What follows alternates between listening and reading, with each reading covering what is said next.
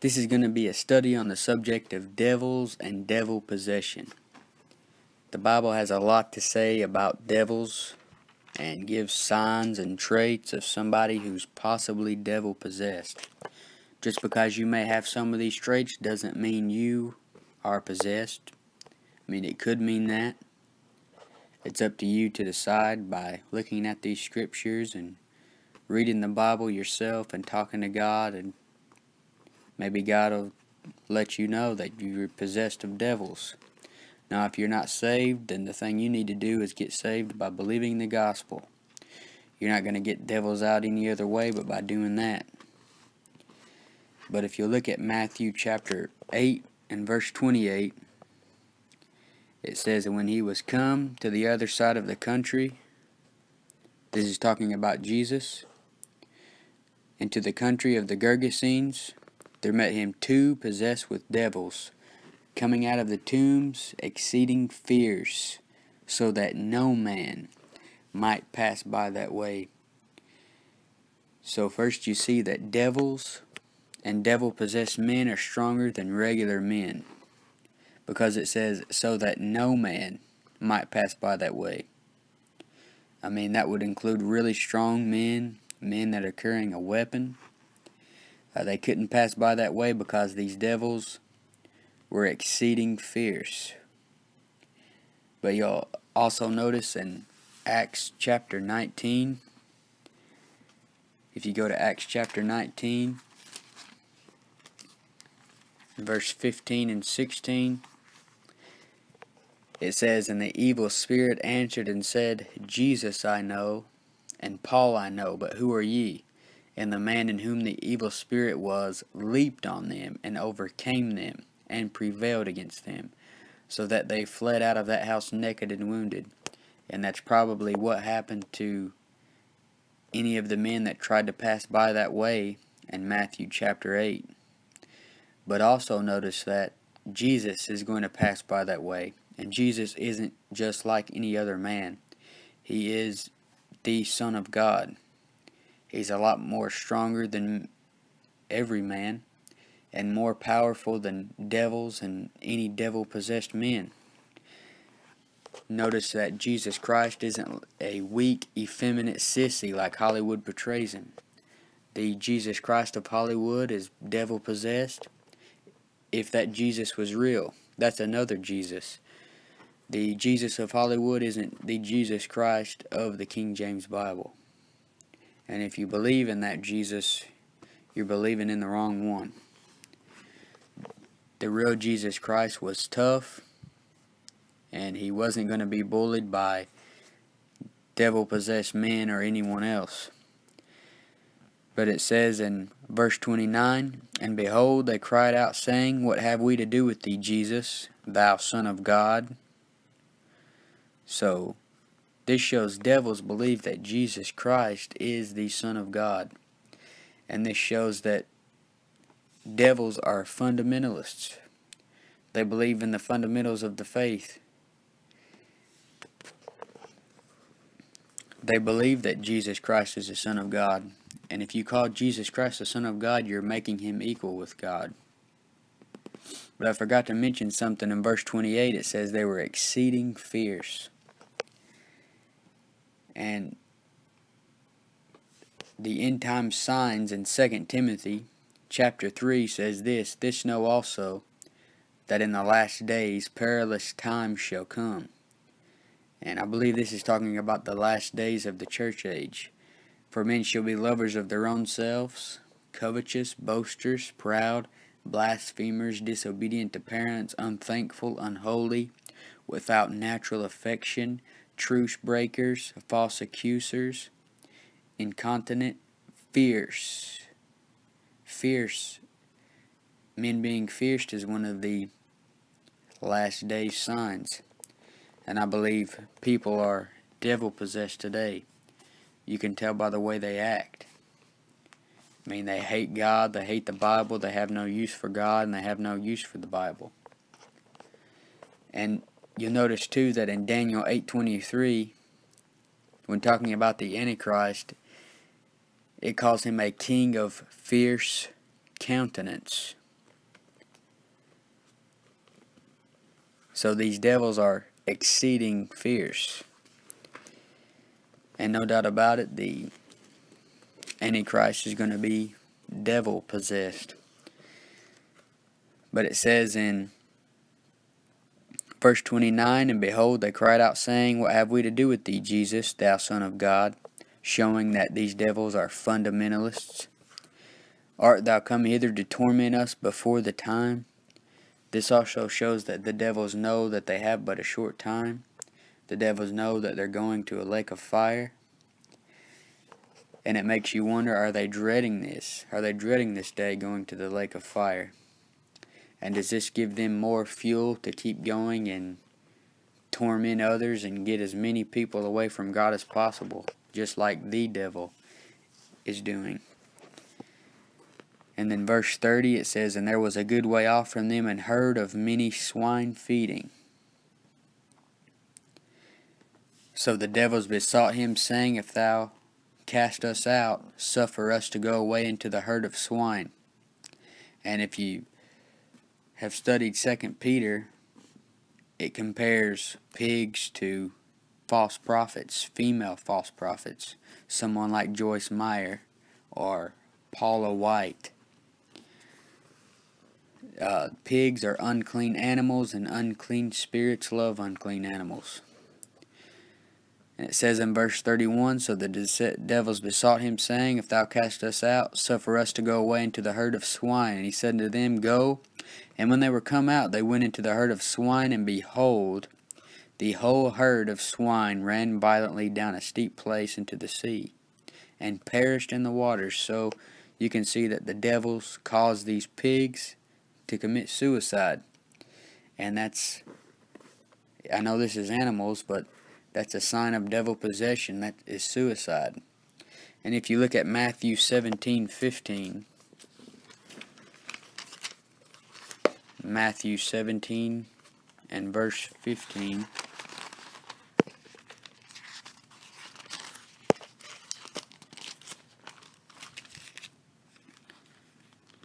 It says, Lord, have mercy on my son, for he is lunatic and sore vexed. For oft times he falleth into the fire, and oft into the water. So these the this devil possessed boy was falling into the fire and into the water, trying to commit suicide. Suicide is a sign of devil possession and shows like 13 Reasons Why or any other movie that talks about and the main subject is suicide, I would stay away from it. Any type of self harm is a sign of devil possession. And then verse 33 says, And they that kept them fled and went their ways into the city and told everything and what was befallen to the possessed of the devils. And behold, the whole city came out to meet Jesus. And when they saw him, they besought him that he would depart out of their coasts. So you see, even though Jesus Christ got rid of the devils, got the devils out of these men, made that place a better place to live, they still wanted rid of him because of their animals that got killed in the waters that shows you that men have no need for Jesus Christ no matter what he does for them. But now let's look at Mark chapter 5. Mark chapter 5 and verse 2. And this is the same story, but it's told from a different perspective. The other story was told by Matthew, this one's told by Mark. It says, And when he was come out of the ship, immediately there met him out of the tombs a man with an unclean spirit. So you see that just like in the previous story, which was the same story, the devils went off into the water. They have some type of obsession with water. And you can see here that as soon as Jesus came out of the ship, they met him. So that shows that they were dwelling next to the water. They love wet places.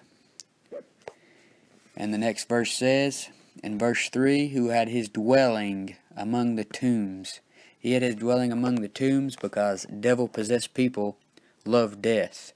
They love shows like The Walking Dead. They love death metal. They say, I wish I was dead a lot. Are you a person that goes around wishing you were dead because you're so depressed? That's a good sign of devil possession. Verse 3 Who had his dwelling among the tombs, and no man could bind him, no, not with chains. So you see that he has supernatural strength. A good sign someone is devil possessed is they have supernatural strength, and not the kind of strength that comes from a lot of working out and things like that. I'm talking about someone who you wouldn't expect to have supernatural strength. And it says, No man could bind him, no, not with chains.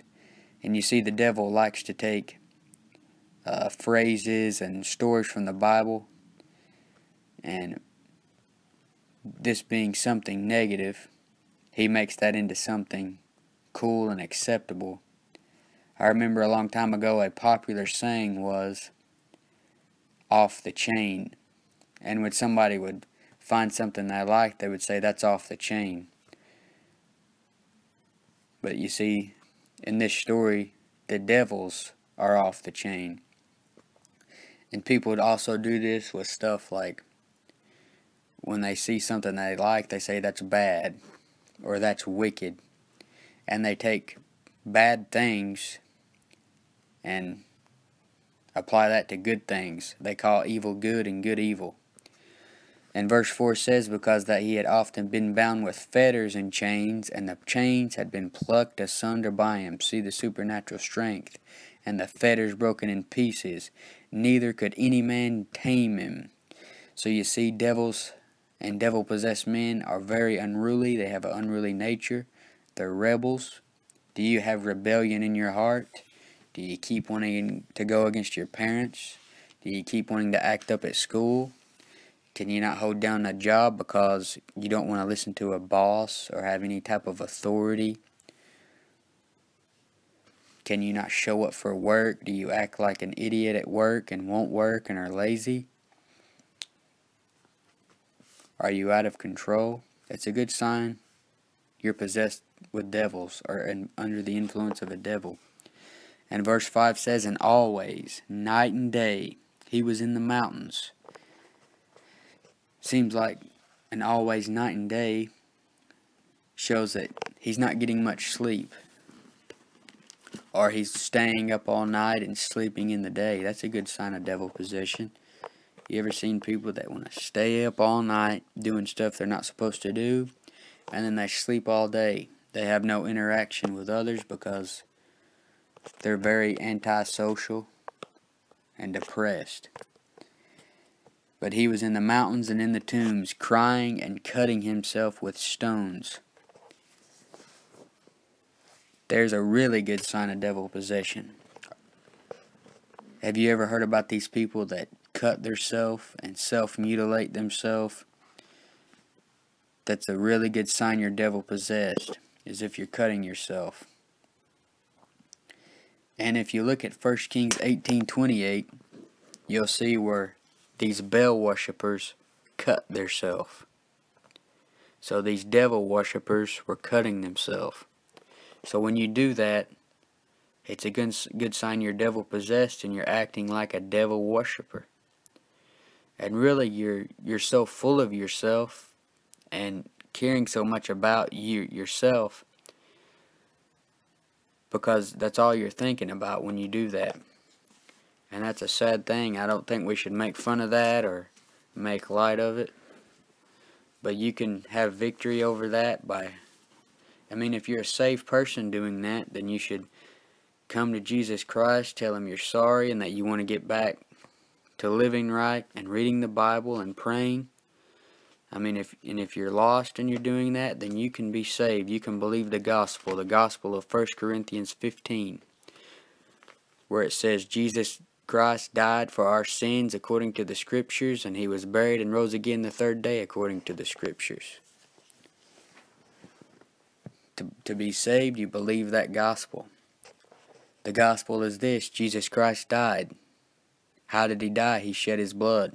He died for you. He was buried and he rose again the third day according to the scriptures. If you want to be saved, put your trust in that. If you want to stay living in the shape you're living, doing all the bad things you're doing and have no way of getting victory over that stuff, if you want to die and go to hell, then reject that gospel. If you want to go to heaven, accept that gospel. But the devil possessed man was crying and cutting himself with stones. But when he saw Jesus afar off, he ran and worshipped him. So you see that devils are very religious people. Just like the Pope is very religious. Just like a Church of Christ pastor is very religious. Just like Mormons and Jehovah's Witnesses are very religious. Kanye West is very religious. He claims to worship Jesus, but yet he hates Jesus and calls himself God. There's something weird about how a lot of people who are devil possessed have a satanic obsession with Jesus Christ. They can't keep his name out of their mouth. The stupid guy who created the Family Guy show has to have Jesus in all his episodes of Family Guy mocking and blaspheming Jesus. That's a really good sign you're devil possessed. And it's a really good sign you're devil possessed if you think that's funny. If you think it's funny that Seth MacFarlane, or whatever his name is, blaspheming and mocking Jesus on his TV show, then you probably have some devils. And it says, And he cried with a loud voice and said, What have I to do with thee, Jesus, thou Son of the Most High God? So once again, you see, devils are fundamentalists. They believe Jesus Christ is the Son of God, making him equal with God when they call him that.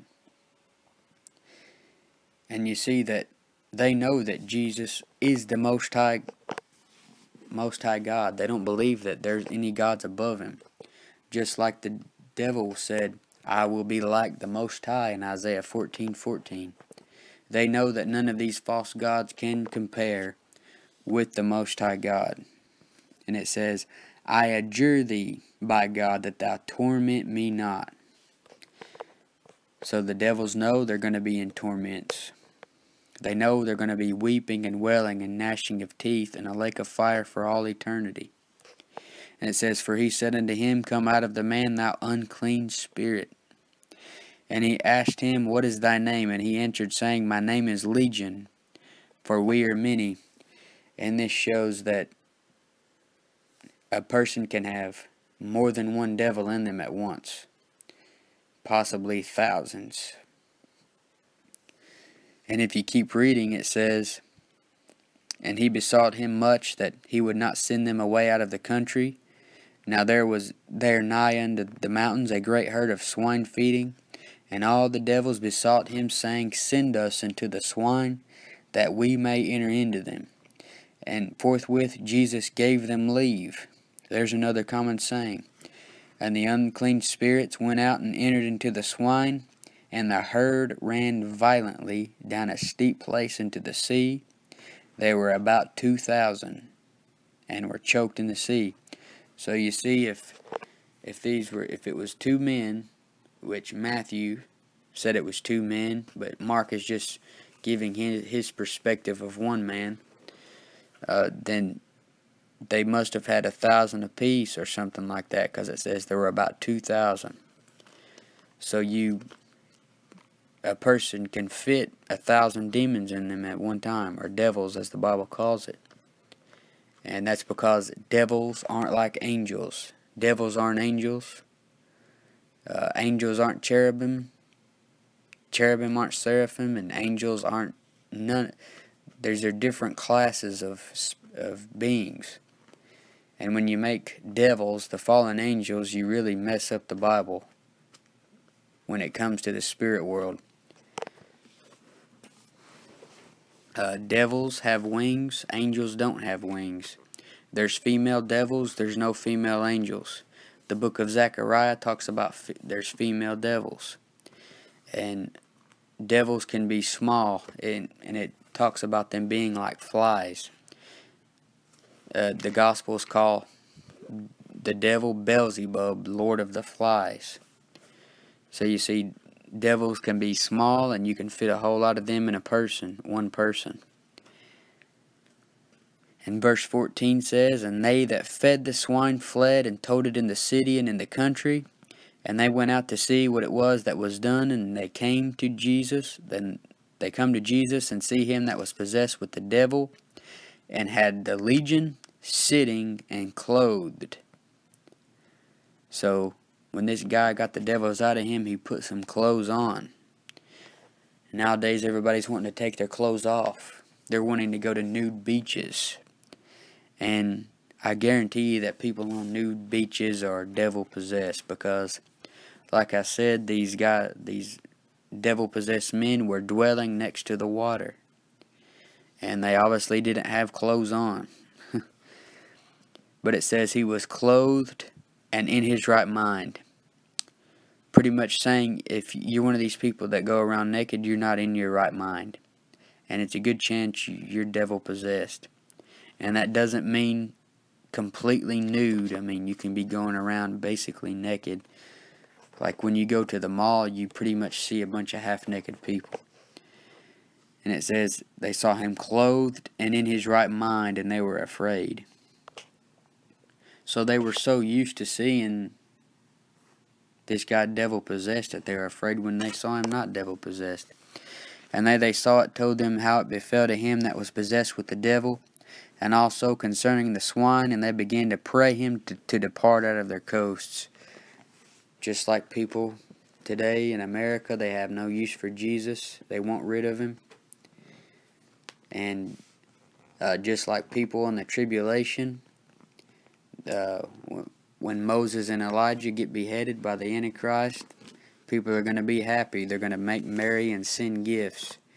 And a good sign that you're devil possessed is you want rid of Jesus. And I believe these men that wanted rid of Jesus were devil possessed themselves. They may have just been, you know, the type that were like the kind we have in America. I heard one preacher say, uh, devil possessed people in America aren't like these maniacs described here. They are actually act supposedly classy and they get to be on the front of magazines. But I believe these men that wanted rid of Jesus were devil possessed themselves. But um maybe you're saved and you think you're devil possessed and that's a possibility because in 1 Corinthians chapter 5 it talks about a saved man who is being turned over to Satan for the destruction of the flesh. And if that's not being devil possessed, I don't know what is. How can you say that he's not possessed by the devil when he's being turned over to Satan? Wouldn't he be in Satan's possession? No, I'm not saying a devil or the devil can get your soul. They can't get your soul, but they can get everything else. They can get your arms, your legs, your your head. They can get your house. They can get your family uh, if you keep going down the road you're going of sin and doing what you want to do, then you can be turned over to Satan for the destruction of the flesh. Uh, that's another reason why a Christian shouldn't just live however he wants to live. No, you can't lose your salvation, but you can lose everything else. So if you're saved and you're devil possessed, the first thing you need to do is come to Jesus, say, I'm sorry for my sins, I'm confessing my sins, Start reading your Bible daily. Listen to good preaching.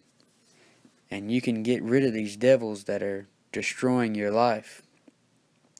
And if you're not saved, then you need to be saved. You don't need to be worrying about getting rid of the devils if you're not even saved. And I'm going to tell you how to be saved now. Uh, if you have a Bible, if you have a King James Bible, come to 1 Corinthians 15. Now, if you don't have a Bible, you can just listen to me read it. But in 1 Corinthians 15 is where you find the gospel. Most people don't know anything about the gospel, and most Christians couldn't even tell you where the gospel was in the Bible. But if you look at 1 Corinthians 15 and verse 1, it says, Moreover, brethren, I declare unto you the gospel which I preached unto you, which also ye have received, and wherein ye stand. Notice it says, which also have ye have received. You receive it. You put your trust in it, by which also ye are saved. As it says in verse 2, If ye keep in memory what I have preached unto you, unless ye have believed in vain. For I delivered unto you first of all that which I also received how that Christ died for our sins according to the Scriptures, and that he was buried, and that he rose again the third day according to the Scriptures. So the gospel is this Jesus Christ died. How did he die? He shed his blood. He couldn't die no other way. He couldn't have been drowned. He couldn't have been uh, hanged. He had to have shed his blood. Because we can't get forgiveness of sins other than by a blood atonement. So Jesus Christ died. He shed his blood. He died for your sins. That's the key. He died for your sins. He was buried and he rose again the third day according to the scriptures. So you got that. Now turn to Colossians. The book of Colossians, chapter 1.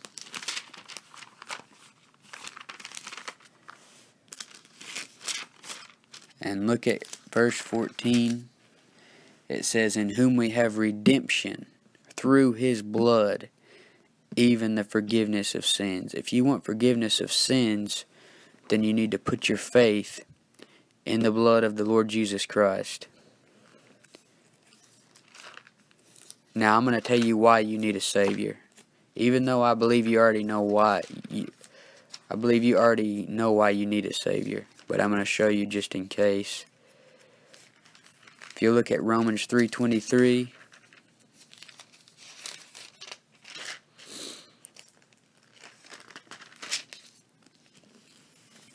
it says, For all have sinned and come short of the glory of God. So you're a sinner, and that's why you need a Savior. Uh, God isn't going to allow sin into heaven. The only way you're going to get to heaven is by getting the righteousness of someone who hasn't sinned. Jesus Christ is the only man that was sinless. And when you put your trust in Him, God gives you the righteousness of Jesus Christ and takes away your unrighteousness. That's called imputed righteousness. And uh, verse 24 in the same chapter says, Being justified freely by His grace through the redemption that is in Christ Jesus. So you're justified freely. Justified means declared righteous. When you believe the gospel, God freely declares you righteous. That means you don't do any good works. If you look at the very next chapter, it may be on the same page. Uh, chapter 4 and verse 5 says, But to him that worketh not, but believeth on him that justifieth the ungodly, his faith is counted for righteousness. Your faith is counted for righteousness. If you're putting your faith in the death, burial, and resurrection to save you, then that gives you righteousness, not your good things that you're doing, which would be your good works. Now turn to Ephesians chapter 2. Ephesians chapter 2, verses 8 and 9.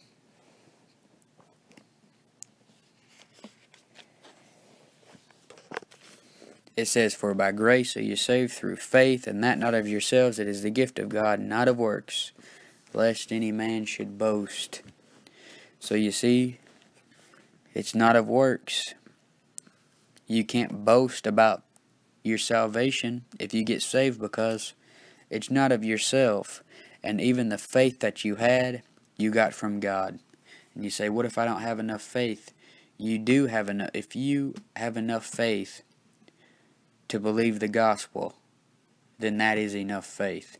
And that faith you got from God. God gives every man enough faith to believe the gospel if he will believe the gospel. And Acts 16:31 says, "Believe on the Lord Jesus Christ, and thou shalt be saved." You're saved by believing. You're not saved by not sinning. You're not saved by uh, living a good life after you're saved. You don't keep yourself sa- saved. God keeps you saved. You're eternally secure once you get in Jesus Christ. But I hope this has helped you, and I hope that you you'll get saved if you're not saved. I hope that if you are saved, then you'll uh, stay living a good life if you are. And if you're not, then now's a good time to start. And you can start by confessing your sins and start by reading your Bible daily, listening to preaching, and studying your Bible.